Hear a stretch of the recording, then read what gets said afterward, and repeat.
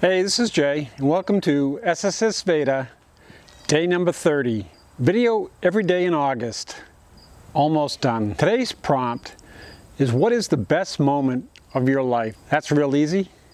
The birth of my son Justin Michael McGillicuddy, born May 26th, 1980. If I remember correctly, it was probably about 5 o'clock in the morning. I've learned with Justin now that technology is the way it is, the best way to reach out to Justin, now that he's 36 years old, is to text him.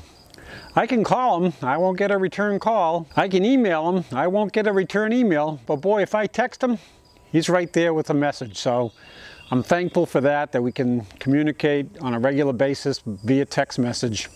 I'm also very, very proud of him. When he was in high school, the day after he graduated from high school, he took me up in an airplane and we flew around Minneapolis where we were living at the time. That was quite an accomplishment for him to get his pilot's license at such a young age.